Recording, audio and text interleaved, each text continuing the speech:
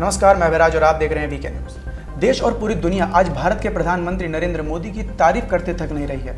पूरी दुनिया मोदी की वाक कला के कायल है। जब भी प्रधानमंत्री नरेंद्र मोदी कोई भाषण देते हैं तो लाखों की तादाद में उन्हें सुनने के लिए लोग वहाँ आते हैं। देश का प्रधानमंत्री बनने के बाद मोदी ने एक नए शो का आरंभ किया, जो कि रेडियो में प्रसारित होता है, जिसका नाम रखा गया मन की बात। इसके ज़रिए हर रविवार वो देश की जनता को संबोधित करते हुए उनके दुख दर्द बांटते हैं और उनको प्रेरणादायी किस्से और कहानियाँ सुनाते हैं।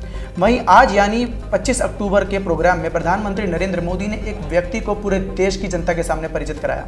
आइए अब आपको बताते हैं कि वो व्यक्ति कौन है और आखिर देश के प्रधानमंत्री ने उसका नाम देश के सबसे बड़े रेडियो प्रोग्राम में क्यों लिया?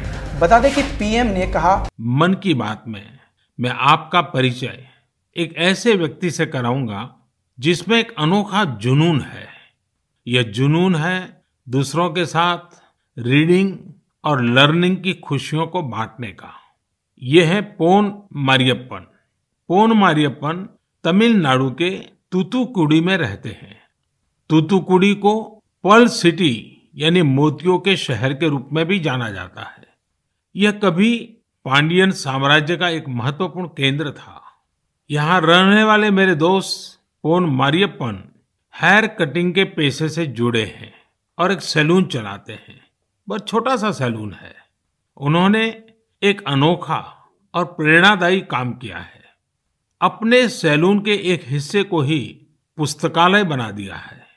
यदि व्यक्ति सैलून में अपनी बारी का इंतज़ार करने के दौरान वहाँ कुछ पढ़ता है और जो पढ़ा है, उसके बारे में थोड़ा लिखता है तो पोन मरियपन जी उस ग्राहक को डिस्काउंट देते हैं। है ना मज़ेदार ये है पोन मरियप्पन पोन मरियप्पन तमिलनाडु के तूतीकोरिन में रहने वाला एक साधारण सा व्यक्ति है, जिसने अपने असाधारण कार्य से प्रधानमंत्री नरेंद्र मोदी को मजबूर कर दिया कि वो उनका परिचय पूरी दुनिया, पूरे देश के साथ कराएँ। तूतीकोरिन के रहने वाले पोन मरियप्पन एक हेयर ड्रेसर हैं। गरीबी के चलते वो आठवीं कक्षा के बाद नहीं पढ़ पाए। पोन मरियप्पन हर युवा को पढ़ने की आदत डलवाना चाहते हैं। इस कारण उन्होंने स्कूल छोड़ने के बाद एक सैलों का कारोबार शुरू। तो साथ ही अपने शौक को ज़िंदा रखने के लिए उन्होंने किताबें रखनी भी शुरू कर दी। उनके सैलों में करीबन 800 से ज़्यादा किताबों का कलेक्शन है। किताबें पढ़ने और फीडबैक देने वाले ग्राहकों को वह 30 प्रतिशत डिस्काउंट भी देते हैं।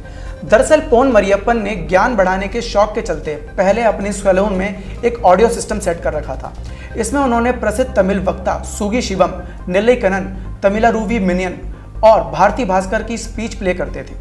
इसके बाद जल्द ही उन्होंने किताबें पढ़ने का भी शौक लग गया और उन्होंने किताब इकट्ठा करना शुरू कर दी, जिसके बाद सैलों में डिस्प्ले करने का उनको विचार आया। पोन मरियप्पन मानते हैं कि उन्हें ऊँची शिक्षा प्राप्त करने का अवसर नहीं मिला, लेकिन उन्हें एहसास हुआ कि किताबें आपका ज्ञान बढ़ाने के लिए सबसे अच्छा माध्यम हो सकता है। इसलिए उन्होंने किताबें इकट्ठा करना शुरू कर दिया और स्कूल स्टूडेंट्स और युवाओं को पढ़ने के लिए प्रोत्साहित करने लगे। इसी के साथ हम आपको बता दें कि वह अपनी दुकान में आने वाले हर ग्राहक से हेयर कटिंग के लिए पारी आने तक किताब पढ़ने के लिए कहते थे। हालाँकि सेल फ़ोन पर व्यस्त रहने वाला युवा वर्ग कई बार उनके इस डिमांड से खफा भी हो जाता था। पोन मरियप्पन ने छह साल पहले 250 किताबों से कलेक्शन शुरू किया था और आज उनके पास तकरीबन 850 किताबें हैं। इनमें से अधिकतर तमिल और इंग्लिश में है और कुछ तो महान नेताओं के जीवन पर आधारित है। उनकी इस नेक पहल के लिए कई लोगों ने उनकी तारीफ़ की। पोन मरियप्पन के पसंदीदा लेखक ए रामाकृष्णन ने भी उनकी इस प्रयास के लिए उनकी तारीफ़ की, जबकि तूतीकोरिन से सांसद कनी मोजी ने उन्हें 50 किताबें दान में दी।